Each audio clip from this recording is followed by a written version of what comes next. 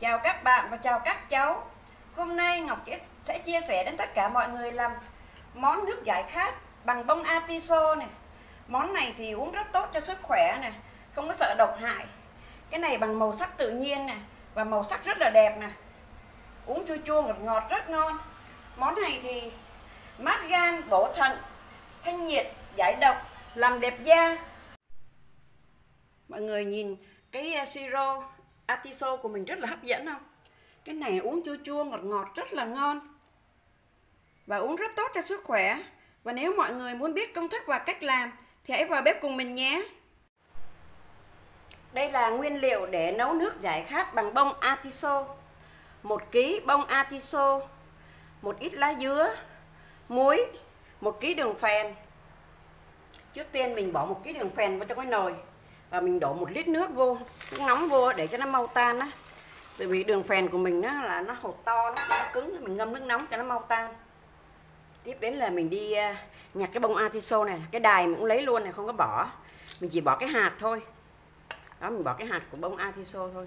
Còn cái đài mình à, mình lấy luôn. Tại vì mình lấy cái màu tím á. Đó, mình chỉ bỏ hạt thôi và cái nào hư thì mình bỏ ra. Trong này có những cái ờ, cánh hoa nó bị hư á.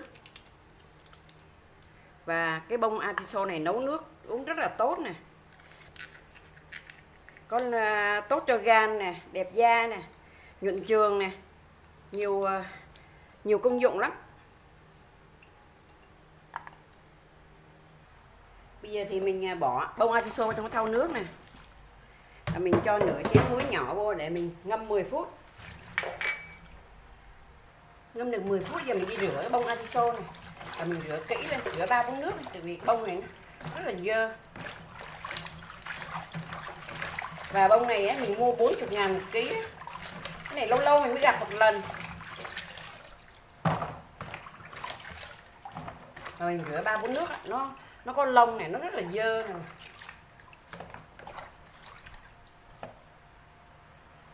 mọi người nhìn thấy này nước của nó dơ lắm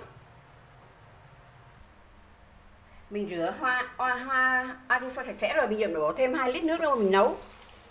Hồi nãy một lít nấu đường, bây giờ 2 lít nữa là 3 lít. Tức là cái nồi siro này á, mình nấu 3 lít nước. Và mình đổ nước nóng vào mình nấu cho nó nhanh. Mình bật bếp lên, mình để lửa lớn. Bếp bên này thì mình bắt nồi đường lên. Mình cho vô ít lá dứa. Mình cho vô 1 phần 3 muỗng cà phê muối. Mình để lửa lớn. Mình khuấy cho đường nó tan. Lúc này thì à, atiso của mình sôi rồi, thì mình hạ lửa nhỏ xuống. Mình nấu khi nào cái bông này nó lợt trắng là được. Cái đường nó sôi á, bây giờ thì mình à, vớt lá dứa ra.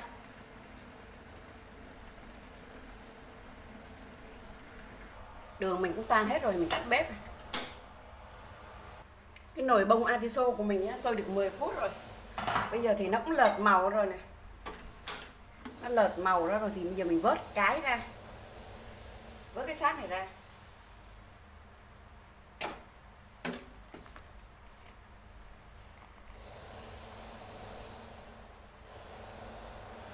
Bây giờ mình vớt hết xác và mình lọc rồi. Và nước đường mình cũng lọc rồi mình đổ chung vô nè.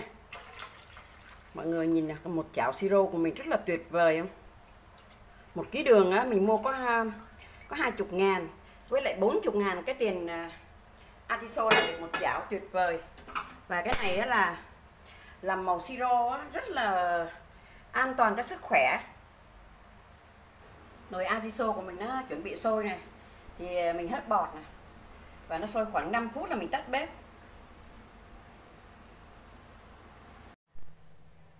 Đây là nước atiso mình mới nấu xong mọi người ơi, nhìn màu rất là đẹp nè. Màu rất là đẹp. Và uống thì chua chua, ngọt ngọt, rất ngon.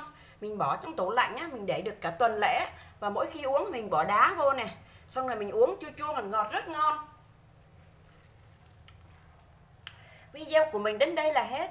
Chúc mọi người thành công. Nếu mọi người thấy thích thì hãy like, đăng ký và chia sẻ cho mình nhé. Cảm ơn mọi người đã xem video của mình. Xin chào và hẹn gặp lại.